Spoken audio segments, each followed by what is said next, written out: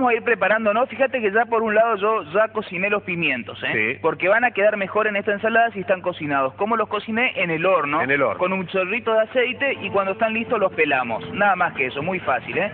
Por otro lado, lo voy a dejar ahí y vamos a comenzar a cortar nuestras zanahorias, que como las solemos cortar siempre en ciflé, que es este chanfleado en ángulo, las cortamos lo más finitas que podamos para que participen lo mejor posible nuestra ensalada. ¿eh? La vamos cortando de esta forma y le vamos a dar una pequeña cocción a las zanahorias, las vamos a blanquear, la vamos a pasar por un poco de agua con sal, lagarto. ¿eh? Ajá. Ahí está, vamos a... Agüita con sal. Eso mismo, ya tenemos agua hirviendo, que es la misma que vamos a utilizar también para cocinar acá eh, la coliflor, pero antes de cocinarla lo que vamos a hacer es cocinar primero las zanahorias para que de esa manera no queden las zanahorias con el aroma a coliflor. A ¿eh? coliflor. Entonces lo primero que hacemos es ir cocinando las zanahorias. La dejamos ahí un momento y por otro lado yo tengo también ya casi listo el pollo que vamos a utilizar. Al pollo, en este caso lo que vamos a hacer es ir cortándolo en dados, lagarto. ¿eh? Yo tengo un poco cortado, pero vamos a cortar todavía un poquito más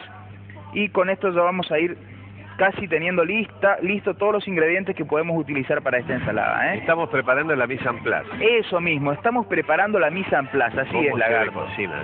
Increíble. que- no, es que estoy haciendo el curso con Celia. Ah, por eso sabes tanto, por claro, eso sabes la tanto, llama claro. Celia a las 12 de la noche, por ahí le digo, mira, pues, ¿cómo se hace esto? y ahí te dan las instrucciones Sí, dan directamente, está bien. Bueno, ya tenemos entonces cortado el pollo. ¿Qué sería lo más frecuente para una ensalada? Cocinar el pollo en agua, Sí. hirvi- eh, hirviendo y cocinarlo de esa manera. Nosotros lo vamos a cocinar en la sartén, lagarto. Sí. ¿eh? Vamos a agregar un poco de aceite de oliva sobre la sartén y de esta manera lo que vamos a lograr es que el pollo tenga mucho más sabor porque va a quedar bien doradito. ¿eh? Vamos a llevarlo entonces a nuestra sartén y vamos a cocinar acá estos dados de pollo que van a tomar un sabor increíble una vez que estén bien cocinados, justamente por el dorado que le va a proporcionar este método de cocción que estamos por utilizar. ¿eh? Entonces, una vez que las zanahorias están listas, lo que vamos a hacer es utilizar ese mismo líquido para cocinar el coliflor, mientras el pollo va cocinándose. Mirá, ya tenemos las zanahorias. Ya pa- blanqueadas, digamos. Claro, es solamente pasarlas por agua para que se tiernicen un poquito, pero a su vez tienen que quedar crocantes, ¿eh? No tienen que quedar a punto de puré, podríamos decir. Es Claro. apenas una cocción para que sean más fácil de comerlas, nada más que eso, pero no queremos que se super cocinen, ¿eh?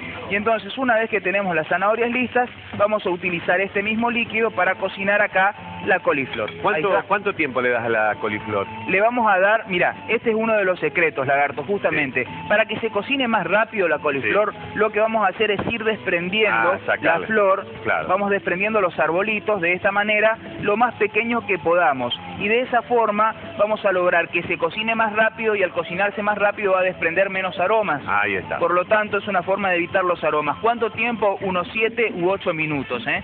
En ese tiempo, si tenemos las flores pequeñitas, Se va va a estar cocinar. listo. Si lo dejamos más grande, va a demorar un poco más. Agua salada, agregamos la coliflor dentro del agua.